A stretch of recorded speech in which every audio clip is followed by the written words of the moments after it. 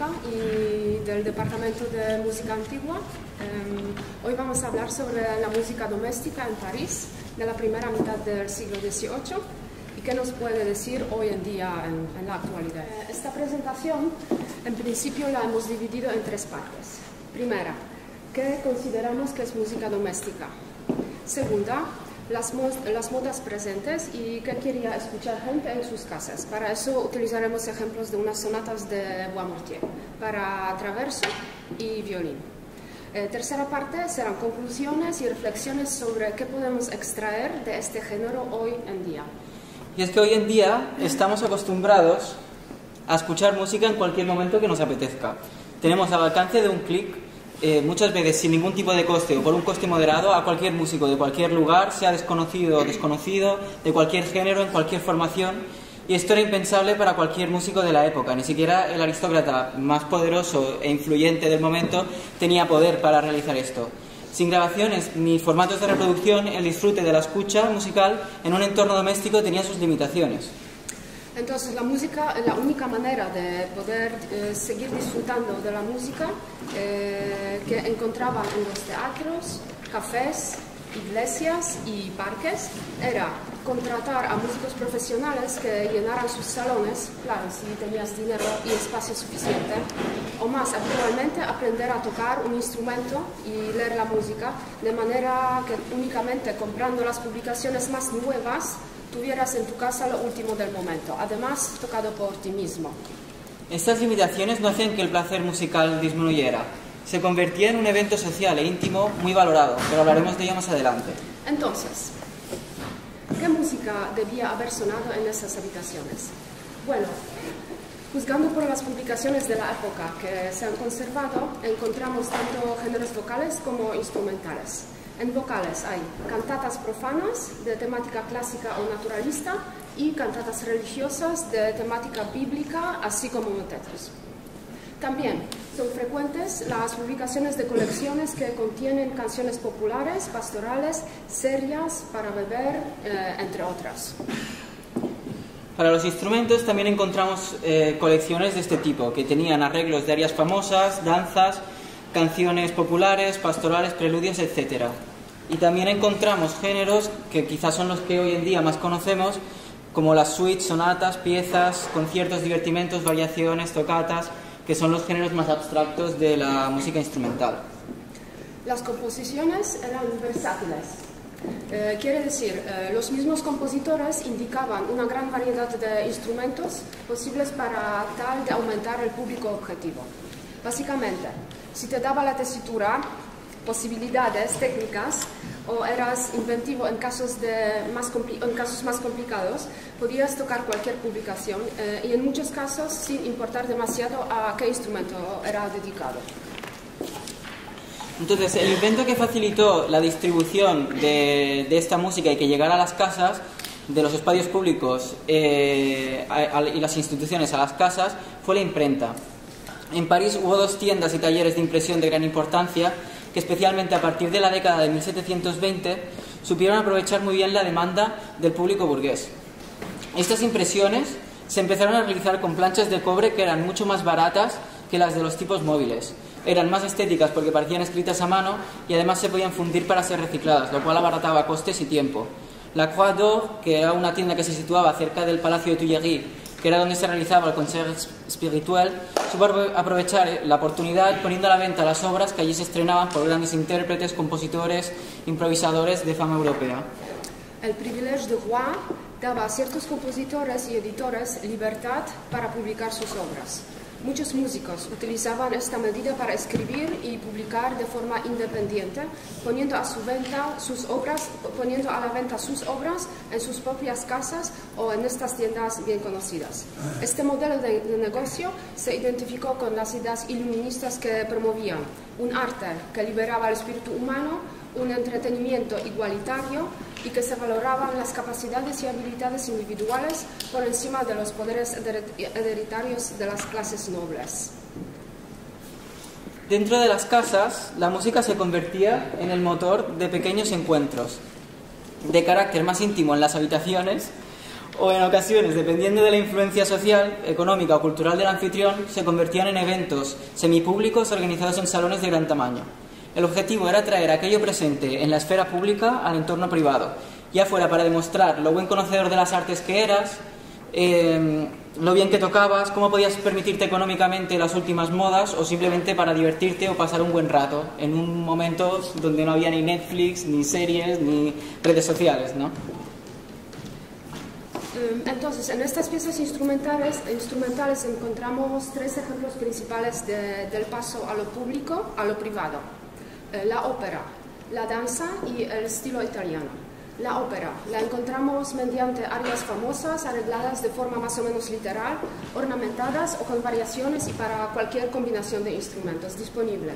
En cambio, en nuevas composiciones la encontramos, por ejemplo, en forma de sonata, utilizada como un lenguaje que se desvincula de la palabra y de la escena para evocar afectos. Esto se consigue mediante la imitación de formas, recursos melódicos, armónicos y rítmicos. Por ejemplo, Guamortier escribe este tercer movimiento como si fuera un recitativo de, recitativo de ópera, sin palabras, claro. Vamos a tocarlo.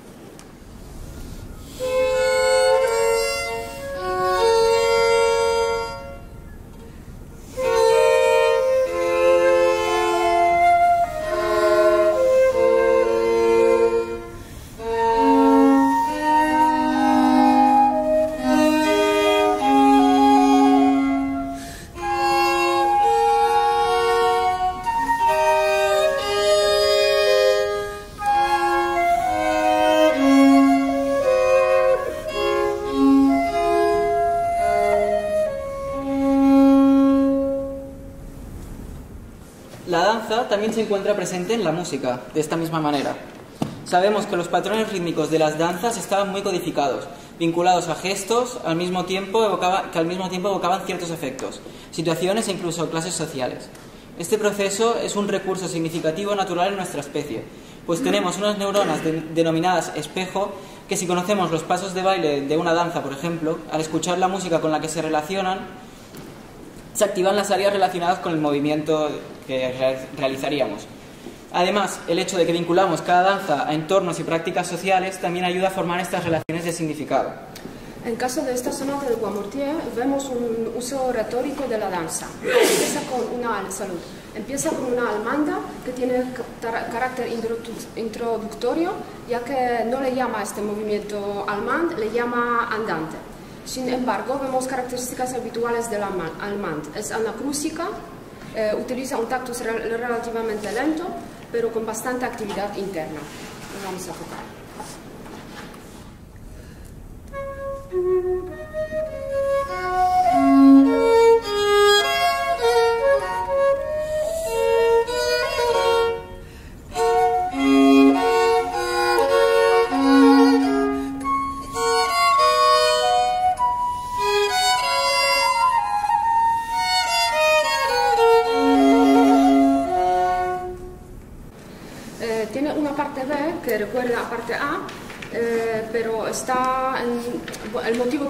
está ornamentado y está cambiado el centro tonal a relativo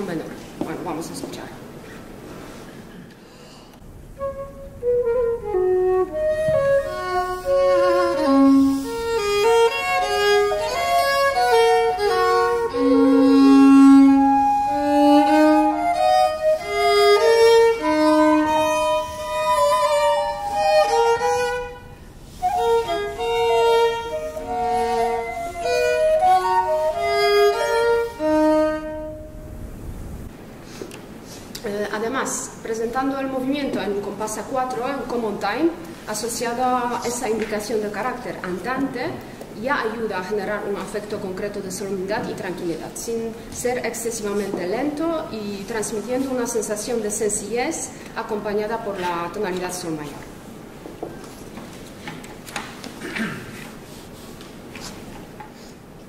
Por otro lado, concluye con un movimiento que denomina alegro y que cumple con las características básicas de un paspié. Por ejemplo, el compás en 3x8, los ritmos de anapesto que serían tararantan o tarararotan, eh, o las células melódicas de cuatro compases. En un sentido retórico, el paspié es conclusivo, ya que es un final típico de la suite. pero también se relaciona con las clases bajas, con un, eh, con un tono rústico. En palabras de Matheson, eh, un teórico alemán del siglo XVIII, tiene un carácter despreocupado y feliz, sin llegar a generar una emoción muy intensa como podría la giga. Toda la sonata tendrá elementos pastorales y populares, ya que se trata de una de las modas preferidas entre las clases medias y altas del París de este momento. Entonces, un ejemplo de este paspier.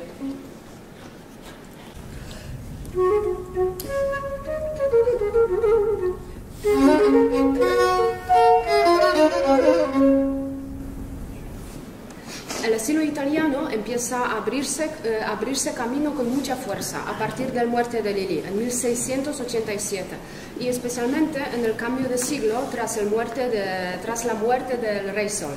Al desaparecer el monopolio musical de Lili, el público francés se abre a otras tendencias. Eh, el cambio de siglo también trae las famosísimas sonatas de Corelli, que se extienden como la pólvora por toda la Europa, exportando una nueva manera de estructurar la música con un estilo particular y causaría muchísimo agrado. También muchos músicos italianos se trasladan a París, trayendo con ellos su música y sus valores estéticos. Y entusiasmados por estas nuevas ideas, muchos músicos franceses deciden viajar a Italia para estudiar de primera mano el nuevo estilo. Instituciones como Le Concert Spirituel o la Comédie Italienne ayudarían a la difusión del italiano tanto en el terreno instrumental como el vocal y operístico. Lo italiano sería visto como un estilo sencillo, natural, agradable, con relación con la voz humana. Eh, mientras que lo francés se veía como algo recargado y artificial. Las ideas que empezaban a surgir de galantería y iluminismo se convulgaban con lo primero y se identificaron con la estética italiana. Esta tabla resume algunas de las características básicas de ambos estilos, que ahora repasaremos mediante ejemplos de la sonata. No vamos a entrar en cada uno de estos apartados, entonces si queréis tomar una foto de la tabla para luego tenerla presente, sois bienvenidos, me espero un momentito y si... Lo primero que llama la atención cuando abres este libro es que no hay ni una sola indicación en francés, más allá de la portada. Incluso las danzas típicas de Francia se italianizan. Por ejemplo, la gabot la llama gabota, el minuet lo llama minueto, etc. Boismortier jamás salió de Francia, entonces es curioso de ver cómo decide evocar lo italiano en sus obras. Uno de los recursos más inmediatos es imitar la sonata coreliana, tanto en la disposición de los, de los movimientos, es decir, lento, rápido, lento, rápido, como en la denominación de sus caracteres. Pero además va a jugar constantemente a hablar en un lenguaje sincrético, que no es ni 100% italiano ni 100% francés. El hecho de pedir de forma explícita y bastante atípica en sus obras la instrumentación para traverso y violín por acordes ya es un mensaje bastante interesante, porque el traverso es el instrumento francés por excelencia, mientras que el violín lo es de Italia.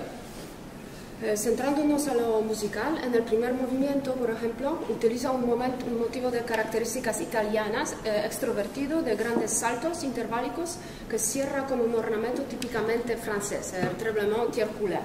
Lo voy a presentar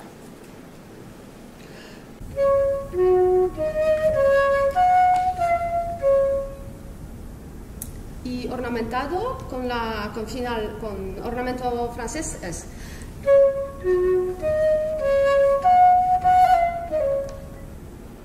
eh, o un momento cercano al final que recurre a una construcción típicamente francesa, la subida por grados, de poco recurrido, con pequeñas ornamentaciones que en estilo francés habitualmente serían trinos con resolución. Pero en este caso, Boismortier eh, la adorna por disminución al estilo italiano.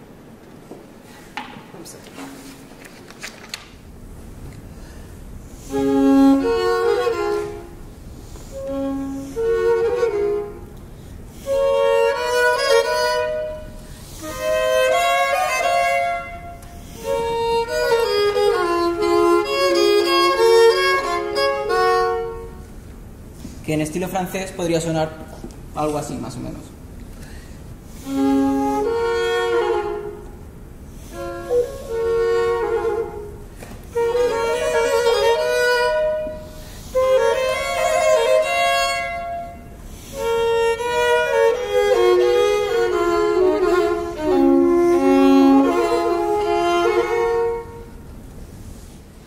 Movimiento utiliza un motivo que tiene un compás en estilo francés y otro en italiano, es decir, un recorrido melódico estrecho al que le siguen grandes saltos, pero ornamentando la primera parte en el estilo italiano, por disminución, y seguidamente en estilo francés, con un trino con resolución. respondiendo el violín de nuevo en el estilo brillante italiano.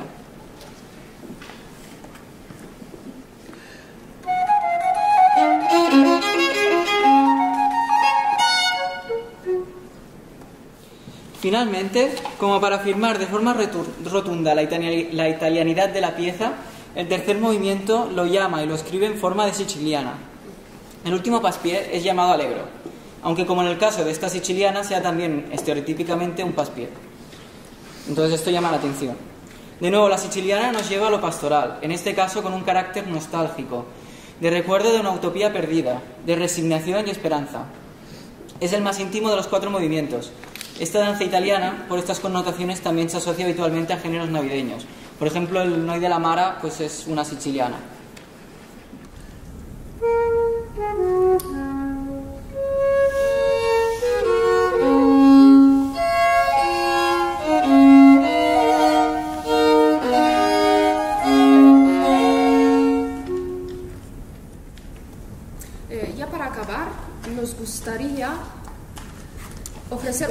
Reflexiones sobre el diálogo que abre en la actualidad la música doméstica de este tiempo y lugar.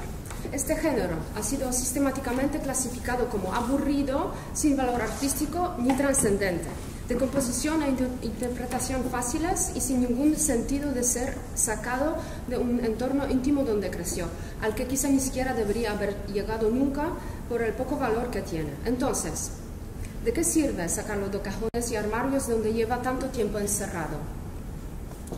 Bueno, pues esta separación jerárquica que hemos ido aplicando entre música espiritual o académica la popular o de fácil acceso, o de la gran forma trascendente y la pequeña forma de entretenimiento, ha estigmatizado mucho la música doméstica y sus representantes principales. Recuperarla con las herramientas adecuadas, que podrían ser la interpretación con criterios históricos y la significación musical basada en la contextualización, nos abre un diálogo con nuestros antepasados, la música doméstica nos habla de gustos, de ideologías y nos acerca a la cotidianidad de estas sociedades pasadas.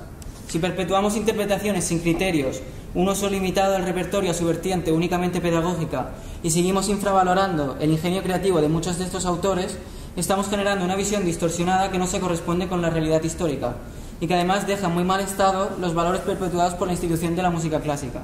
En este sentido, abrir la puerta de la habitación parisina se convierte en una herramienta interesantísima para repensar el canon de la tradición clásica. Revalorizar este repertorio y sus autores representantes nos lleva a buscar valor y darle un espacio de la música a la música de masas y de todas las épocas, siempre considerada más fácil y aburrida, sin valor artístico, muchas veces de una forma prejuiciosa e ignorante. E incluir a la mujer en la escena musical actual. El género doméstico es donde hemos podido expresarnos, expresarnos con mayor libertad a lo largo de toda la historia. Especialmente en el siglo XVIII en Francia hay una gran cantidad de mujeres notables que hemos olvidado. Incluso en casos de gente que se ha puesto a recuperar la música doméstica. Muchas veces se han ignorado sin quererlo, ya que sus obras no son tan visibles como las de los hombres, aunque estén en igualdad de calidad y, e, e incluso de valoración, fama y estima en sus épocas respectivas. Esta lista es una pequeña selección de una rápida búsqueda en Wikipedia. Todas estas mujeres publicaron obras relacionadas con el género de que hemos explorado hoy en día esta presentación. Algunas también con la ópera, géneros religiosos y del concierto. Todas fueron muy valoradas en la época, aquí están para hacer reconsiderar nuestro imaginario histórico y las pocas obras que conservamos de algunas de ellas, para volver a ser interpretadas y darles un espacio merecido.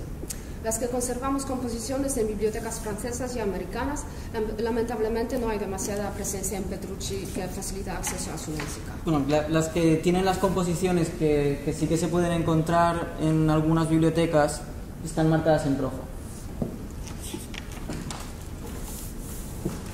De esta lista llaman, por ejemplo, la atención, eh, mencionaré justo las dos que no tienen obras publicadas, o sea, que no conservamos obras eh, hoy en día, que serían Elizabeth de Jodeter, que hizo carrera como violinista profesional cuando las mujeres eran habitualmente cantantes o clavicenistas y estaban más vinculadas al mundo de la ópera, eh, pero lamentablemente no conservamos ninguna de sus composiciones para violín. Bueno, y como veis, estrenó una de las obras de Leclerc en el Consejo Espiritual. Y otra sería Marianne Catherine Quinault, que escribiría motetes para la Chapelle Royale de Versailles e incluso fue galardonada por el propio Louis XIV con una orde de Saint Michel por uno de estos motetes. Si queréis también podéis tomar una foto de, esta diapositiva porque a lo mejor sería interesante tener estos nombres y los pequeños apuntes biográficos que hay. Y nos gustaría acabar ya con eh, Elisabeth Jacquel de la Guerre, que quizás es la más, es compositora más conocida del barroco francés. Es un poco anterior del periodo de que hemos hablado, es más de tiempos de Lili. Se trata de una mujer sobre la que se ha estudiado bastante y tenemos fácil acceso a sus obras. Incluso en la biblioteca de Esmuk tenemos piezas para violín que por si alguien quiere echarles un vistazo. Ahora bien, la parte de esta habitación queda entreabierta. La puerta. entreabierta. La puerta queda, queda entreabierta o entrecerrada. La decisión es nuestra, vuestra o nuestra, más, más bien, ¿no? Si la cerramos o, y volvemos a los teatros, los, las iglesias o las salas del concierto, o más bien nos interesa abrirla más y investigar. Y ver qué está pasando, ¿no? Bueno, pues aquí lo dejamos. Muchas gracias por venir y dedicar vuestro tiempo. Muchas gracias a las jornadas, a Joan, a todos los organizadores. Y si tenéis cualquier duda o cualquier propuesta, pues estaremos por aquí abiertos.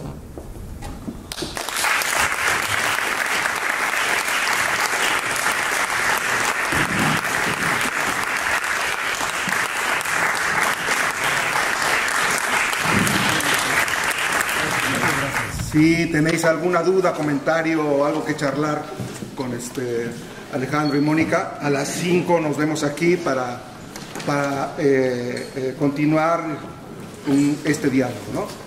Interesantísimo esta visión que nos dieron de la música en el espacio doméstico en París del siglo XVIII. Un, un espacio que servía, entre otras cosas, para formar eh, a los oyentes que después accedían a otros espacios más grandes, más prestigiosos, como los, las salas de ópera o donde se hacían las, em, las sinfonías. ¿sí? Como pudimos ver en este espacio doméstico, las pequeñas piececitas musicales que se, tejían ahí, se enseñaban a los mismos principios de expresividad, de afectos y, de pertenencia a estilos y discursos que atravesaban todos los otros repertorios, que por alguna razón eh, fueron más estudiados por la historia de la música y estos espacios domésticos habitualmente protagonizados por mujeres quedaron relegados y escondidos ahí en el, en el este, cesto de la basura. Mónica y Alejandro, qué chulo lo que, nos habéis este, compartido. Y, una pregunta, ¿cómo hacemos? Eh, nuestros cánones estéticos están curtidos, basados, cortados a través de las obras que conocemos, a través de una historiografía que ha eh, primado el estudio de ciertos espacios, la ópera, los grandes maestros de capilla, eh, cierto repertorio sinfónico, y relegado otras escenas musicales como las que nos compartisteis, domésticas, más pequeñitas, en donde las eh, protagonistas habitualmente eran mujeres, o encontramos más mujeres este, que en otros espacios, ¿no? ¿Cómo hacemos para valorar en su justa medida estos espacios a nivel estético? Porque corremos el riesgo ¿no? de que nuestros parámetros este, estéticos están cocinados en otros repertorios, vemos que sí funciona, mates son, las diferencias estilísticas, la pertinencia retórica, pero el riesgo es que este, eh, aproximarnos al repertorio nos puede quedar no sé, un, repertorio de segunda mano y, que confirmemos ese tipo de prejuicios o puede que, este, que podamos hacer otras cosas. ¿Qué haríais vosotros? No sé si lo, habéis pensado. Sí, no, un poco porque hemos estado pensando mucho en cómo, cómo traer este repertorio que a nosotros nos interesa y que nos parece muy interesante, cómo, cómo llevarlo al público, ¿no? Y de, momento lo que nos ha funcionado era la idea del concierto comentado, que es un poco, claro, si tú estás comentando qué es lo que te parece interesante de ese repertorio, entonces puedes captar el interés de la gente y de que vea que realmente hay un valor en, esa música también, ¿no? Y que, se puede analizar con una, con una clave que se puede entender también de la misma manera que puedes entender las grandes obras. De acuerdo. No sé si uno de vosotros, vosotras, este, tiene algún comentario o pregunta de la exposición, o, vosotras, vosotros, de la exposición de, de Alejandro y de Mónica. Yo sin, duda pienso que eh, el hecho de valorar, de, ponerlo en valor a través del discurso puede ser muy interesante, pero mm, esos espacios y esos, esos cuando, cuando abordamos algo que no es solo con, conocer algo nuevo dentro de un esquema que ya conocemos, sino algo que cambia el esquema, también es un desafío para cambiar el esquema de todo lo demás. No, no solo el de dónde viene eso, sino también el cómo accedemos a eso. O sea, me pregunto si una música como esta está también interpelando y abriendo la posibilidad de, repensar también el formato del concierto. Eh, pero de verdad, o sea, no tanto llegar a, más explicamos que fin es entero, dejar de ser una extensión que ya conocemos un poco, sino también otros espacios. ¿no? La idea del, concierto doméstico, de hecho, no lo inventamos, no, no está por inventarse, inventada ya, eh, y, y, y, se está rescatando desde hace ya mucho tiempo. ¿no? O sea, los conciertos en las casas particulares, la, idea de, mm, de, momentos de música, ¿no? y, nosotros tenemos una idea como de, que, eh, el, eh, concertista que, que, toca su programa 40 veces en el año ha, amortizado muy bien esto y el resto de los días pues estudia para esos 40 días. Y ya es uno que trabaja mucho.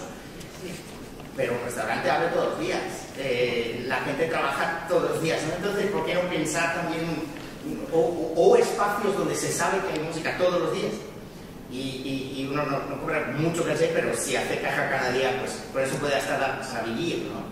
O a lo mejor un espacio que ofrece también una experiencia diferente, o, pensar espacios que ya existen, incluso particulares, donde esa música, no sé, me imagino, me imagino, me imagino, mm, mm, se podría ver un espacio hasta camino es empresarial, ¿no? Es así, ¿no? No sé, meter la música excepcionalmente en un pub que los miércoles cuando no viene nadie, pues hay algo de música clásica, que es una opción también, evidentemente, sino pensar en algo donde se viva, no sé, algo así. Yo el riesgo de, de, hacerlo de esa manera también es que sí que si es si lo haces como por ejemplo en un restaurante o, en algún espacio así pequeño, también es como un poco decir, no, no, no, esta música no es apta para, para un gran escenario.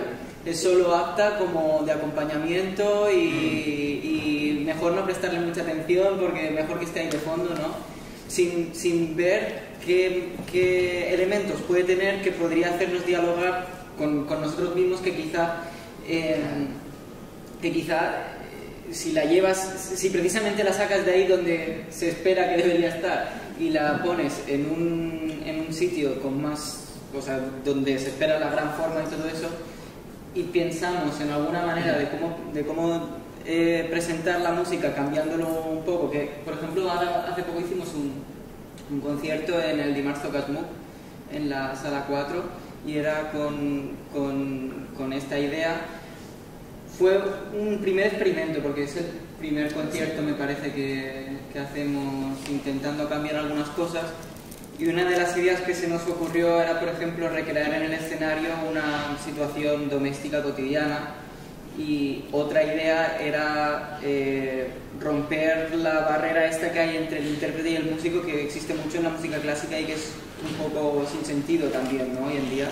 Que quizá para cierto repertorio, pues quizás sí que se, que se puede entender más, ¿no? pero para otro tipo de piezas que haya esta barrera de que uno habla, otro escucha y no, no me puedo levantar de la silla, no puedo moverme, no puedo sacar nada, todo eso también es un, discurso un poco feo. Yo creo, yo creo que en el fondo estamos hablando de derribar paredes. Sí, exacto. Abrir una sala al espacio público, que es la calle. Em, y, por ejemplo también, yo creo que entroncaría también con el, la concepción eh, que tenemos interiorizada de que al final la obra es algo eh, completo y acabado. Y quizá integrando el, aspecto doméstico también se podría integrar en la concepción de la obra como algo en desarrollo, como un proceso creativo, compositivo y de, otros, de otros modos. Sujeta modificaciones, adaptaciones y este, según las circunstancias. Es que el sistema de, las, categorías sobre el cual está armada la historiografía es un sistema perversamente coherente en, en, crear, como todo sistema de categorías, son jerarquías. Y entonces encumbran muy claramente. El hecho que hayas insertado el tema de género me parece muy interesante, es evidentemente un tema candente. Eh, pero o sea, el, sistema de categorías que tenemos es etnocéntrico, es obviamente militantemente machista, es, o sea, y tiene obviamente la obra acabada y por tanto tiene una jerarquía muy clara, donde la composición es más importante que la interpretación, o sea, tiene, es, todo, todo eso, ese es el sistema. Son límites. Ahora, exacto, ¿cómo vamos repensando de, esas categorías el tema de, de, género en eso? Hay, queda mucho, y queda mucho por investigar queda mucho por ver cómo rehacemos todo. O sea, comentábamos antes en el pasillo, ¿no? El hecho mismo de que estas mujeres, vaya, había unas circunstancias sociológicas que hacían que estuvieran ahí, pero luego el hecho de que no tengamos las partituras de las mujeres está ligado también a la historia económica. Y ahí es otro discurso también, porque muchas veces no tenemos las composiciones, además de las mujeres que a veces eran aristócratas, y que, que, no las tenemos no porque era un estrato demasiado humilde, sino porque no necesitaban mm, publicar. Entonces, esa idea de, bueno, pero habían escrito una gran obra, ¿cómo no lo iban a publicar? Nosotros ya proyectamos la necesidad de estar en la historia o de, aparecer el eco, no sé qué, pero eso es otra parte de ese sistema, obviamente muy marcado por, lo masculino y con esa idea de triunfo, de éxito, pero es que había otras dimensiones, podía haber gente que estaba haciendo música pues sin necesitar publicar muchas veces la coyuntura de la publicación era más una necesidad para vender algo y hacer caja de cara a, una, a, a, a, un público de amateurs que, que, era, que compraban eso y, y la, la, vida real y la, y la, proyección incluso la autorrealización iba por otro camino yo, yo, digo que esto sucedió hasta con Beethoven me parece un escándalo pero es que pasó con Beethoven eso mismo que acabo de decir imaginarse cómo iba a pasar por personas que estuvieron mucho más ligada a un día a día sin ese ego monumental que tenía el Señor. Y aún así, aún así, eh, la partitura muchas veces era más una necesidad de hacer caja que una proyección. Eh, su gran realización iba siempre, de todos modos, de cara al público, no de cara a un papel. Y ahí la partitura. Claro, claro. O antes, en la época de Partitura era el souvenir que daba el señor de la casa para que recordaras dónde escuchaste el Orfeo, dónde escuchaste el combatimiento de Tancredo y le daba un prestigio al patrón, no al músico. ¿no? Es muy interesante porque el, valor de la composición, el valor del compositor o compositora en esos contextos no iba aparejado a la partitura como para nosotros lo es, ¿no?